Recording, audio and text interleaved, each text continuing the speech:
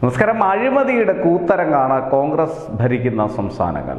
നമുക്കറിയാം അഴിമതിയുടെ അപ്പോസ്തലന്മാരാണ് കോൺഗ്രസിന്റെ നേതാക്കളും സാധാരണക്കാരായിട്ടുള്ള പ്രവർത്തകരും വരെ. കോൺഗ്രസ് വിരലിൽ എണ്ണാവുന്ന സംസ്ഥാനങ്ങളിൽ മാത്രമാണ് ഇന്ത്യ മഹാരാജ്യത്ത് ഭരിക്കുന്നത്. ആ ഭരിക്കുന്ന സംസ്ഥാനങ്ങളിലെല്ലാം തന്നെ അഴിമതിയുടെ കൂത്തരങ്ങാണ്. കോൺഗ്രസ് ഭരിക്കുന്ന ഭൂപേഷ് ബാഗൽ മുഖ്യമന്ത്രിയായിട്ടുള്ള ഛത്തീസ്ഗഡിൽ നിന്നാണ് ഏറ്റവും അതായത് നൂറുകണക്കിന് കോടി രൂപയുടെ കൽക്കരി അഴിമതിയുടെ വാർത്ത ഇപ്പോൾ പുറത്തു വരുന്നത്. പതിവ് പോലെ അഴിമതി കോൺഗ്രസ് നടത്തുന്നു. മറുതലയ്ക്കൽ എൻഫോഴ്സ്മെന്റ് ഡയറക്ടറേറ്റ് ഇ ഡി കൃത്യമായി കോൺഗ്രസിന്റെ നേതാക്കളുടെ ചെവിക്ക് പിടിക്കുന്നു. നമുക്കറിയാം ഇപ്പോഴും ഛത്തീസ്ഗഡിലെ കൽക്കരി കുംഭകോണവുമായി ബന്ധപ്പെട്ട് പതിനാല് സ്ഥലങ്ങളിൽ ഇ ഡി കൃത്യമായ റെയ്ഡ് നടത്തിക്കൊണ്ടിരിക്കുകയാണ്. ഈ വാർത്ത ചിത്രീകരിക്കുന്ന സമയത്ത് പോലും കോൺഗ്രസിന്റെ ഉന്നതരായിട്ടുള്ള പല നേതാക്കളുടെ വീട്ടിലും ഓഫീസുകളിലും എല്ലാം തന്നെ കോൺഗ്രസിന്റെ മറ്റ് അവരുടെ പിണിയാളുകളും അണി അനുയായികളുമായിട്ടുള്ള ആളുകളുടെ വീടുകളിലും സ്ഥാപനങ്ങളിലും ഒക്കെ തന്നെ ഇ ഡി ഒരേ സമയം റെയ്ഡ് നടത്തുന്നു. ഇതൊന്നും കേരളത്തിലെ മാധ്യമങ്ങൾ കണ്ട മട്ടേയില്ല. എന്നാൽ ദേശീയ മാധ്യമങ്ങളിൽ ഇത് വലിയ തോതിൽ വാർത്തയാകുന്നു എന്നതാണ് ഏറ്റവും പ്രധാനപ്പെട്ട ഒരു കാര്യം. അഴിമതിക്കെതിരെ സന്ധിയില്ലാത്ത സമരം ചെയ്യുന്ന ബി ജെ പിയുടെ കേന്ദ്ര സർക്കാരിന്റെ ഏറ്റവും പ്രധാനപ്പെട്ട നടപടിക്രമങ്ങളായി തന്നെ നമുക്കിതിനെ കാണേണ്ടതുണ്ട്. എന്തായാലും കോൺഗ്രസ് നേതാക്കൾ ഇ ഡിയുടെ റഡാറിലായിട്ട് കുറേ നാളുകളായിരുന്നു. അതുകൊണ്ട് തന്നെ ഈ ഛത്തീസ്ഗഡിലെ കോൺഗ്രസിന്റെ ഉന്നത നേതാക്കൾ മുഖ്യമന്ത്രിയുടെ ഓഫീസ് വരെ ഉൾപ്പെടുന്ന തരത്തിലേക്ക് ഈ ഒരു കോൾ സ്കാം അതായത് കൽക്കരി കുംഭകോണം മാറിപ്പോയിരിക്കുന്നു എന്നതാണ് ഏറ്റവും പ്രധാനപ്പെട്ട ഒരു കാര്യമായി നമുക്ക് പറയാനുള്ളത്.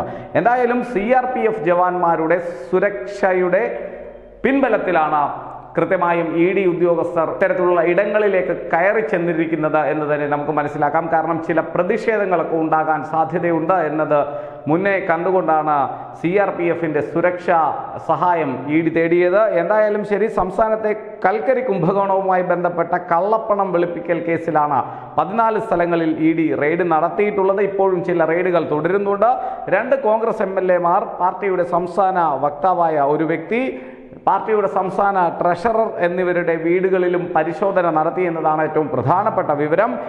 ഏതായാലും കൽക്കരി കുംഭകോണത്തിലൂടെ ഏതാണ്ട് അറുപത് മുതൽ എഴുപത് കോടി രൂപ വരെ കോൺഗ്രസ് പാർട്ടി ഫണ്ടിലേക്ക് സമാഹരിച്ചു.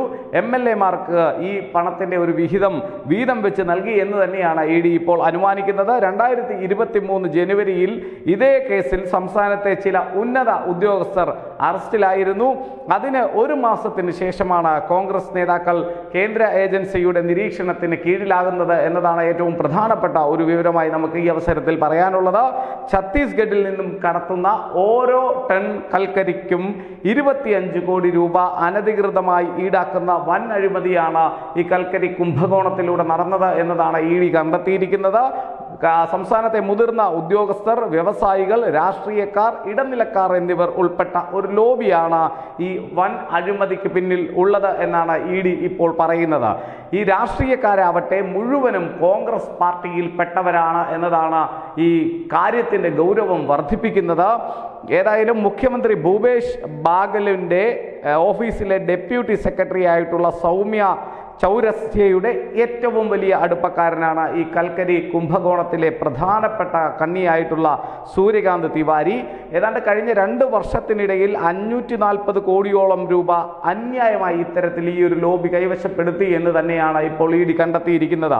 കൽക്കരി നീക്കാൻ കരാർ എടുത്തവരുടെ കയ്യിൽ നിന്നും മറ്റ് വ്യവസായികളുടെ കയ്യിൽ നിന്നുമാണ് ഇത്തരത്തിൽ അധികാരം ഉപയോഗിച്ചുകൊണ്ട് കോടിക്കണക്കിന് നൂറ് നൂറ് നൂറ് കണക്കിന് കോടി രൂപ കോൺഗ്രസ് പാർട്ടി ഫണ്ടിലേക്കും എം എൽ എമാർക്കും മന്ത്രിമാർക്കും ഒക്കെ നൽകി വീതം വെച്ച് കൊടുത്തിരിക്കുന്നത് എന്തായാലും ഭൂപേഷ് വാഗേലിന്റെ നേതൃത്വത്തിലുള്ള അഴിമതി സർക്കാരാണ് ഛത്തീസ്ഗഡിൽ ഭരണം നടത്തുന്നത് മുന്നേക്ക് കൊണ്ടുപോകുന്നത് എന്ന് തന്നെ നമുക്ക് ഛത്തീസ്ഗഡിലെ ആ കാര്യങ്ങളിൽ കൊണ്ട് തന്നെ നമുക്ക് മനസ്സിലാക്കാൻ സാധിക്കുന്നു. ഏതാണ്ട് അറുപത് മുതൽ എഴുപത് കോടി രൂപ വരെയാണ് കോൺഗ്രസിന്റെ പാർട്ടി ഫണ്ടിലേക്ക് ഈ കൽക്കരി കുംഭകോണ ഇടപാടുമായി ബന്ധപ്പെട്ട് എത്തിയിരിക്കുന്നത് എന്തായാലും ഇ ഡിയുടെ കൃത്യമായ റഡാറിലേക്ക് സംഗതി എത്തിയതോടുകൂടി നെട്ടോട്ടമോടുകയാണ് മുഖ്യമന്ത്രിയുടെ ഓഫീസിൽ ഉൾപ്പെടെയുള്ള കോൺഗ്രസ് നേതാക്കൾ. മുഖ്യമന്ത്രിയിലേക്ക് ഈ ഒരു അന്വേഷണം എത്തി പെടുമോ എന്ന എത്തപ്പെടുമോ എന്ന തരത്തിലേക്കുള്ള ഒരു സംശയം കൂടി കോൺഗ്രസ് നേതാക്കളെ വലിയ തോതിൽ പരിഭ്രാന്തരാക്കുന്നുണ്ട്. എന്തായാലും ശരി ഇ ഡി പണി തുടങ്ങിയിരിക്കുന്നു. ഛത്തീസ്ഗഡിലെ കോൺഗ്രസിന്റെ ഭരണം കയ്യാലപ്പുറത്തെ തേങ്ങ പോലെ ആയിരിക്കുന്നു. മുഖ്യമന്ത്രി അഴിമതി കേസിൽ അകത്തേക്ക് പോയി കഴിഞ്ഞാൽ പിന്നെ കോൺഗ്രസിന്റെ കാര്യം ഛത്തീസ്ഗഡിൽ തടയുക. ഏതാണ്ട് വിരലിൽ എണ്ണാൻ മാത്രം കഴിയുന്ന സംസ്ഥാനങ്ങളിൽ ഭരണമുള്ള അഴിമതിയുടെ അപ്പോസ്റ്റലന്മാരായ കോൺഗ്രസ് മറ്റൊരു ഉദാഹരണം കൂടി കാണിച്ചിരിക്കുകയാണ്. സമാനതകളില്ലാത്ത അഴിമതി നടത്തുവാൻ തങ്ങളെ തങ്ങളിൽ കഴിഞ്ഞ് വേറെ ആരുമില്ല എന്നാണ് കോൺഗ്രസ് ഈ ഒരു കാര്യത്തിലൂടെ ചൂണ്ടിക്കാട്ടിക്കുന്നത് അല്ലെങ്കിൽ നമുക്ക് കാട്ടിത്തരുന്നത്. ന്യൂസ് ഡെസ്ക് ന്യൂസിന്റെ മലയാളം.